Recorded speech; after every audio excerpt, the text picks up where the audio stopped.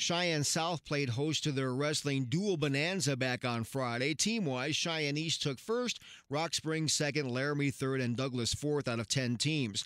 Individually, there were some excellent performances. Cheyenne East had five guys go undefeated at this tournament Brighton Winchell at 132, Chase Vosler at 138, James Lopez at 145, Thomas Neal at 170, and Josh Gross at 285. Laramie had a strong performance thanks to 4A state champion Idris Elias, who won won all five of his matches at 126 pounds. Ethan Sell of the Plainsmen at 106 went 5 0, as well as state champion Carlos Looney at 182, plus Zach Aguilar at 195. Rock Springs had three wrestlers win out in this tournament Zach Vasquez at 106, Cameron Metcalf at 120, and Ashton Dupape at 126.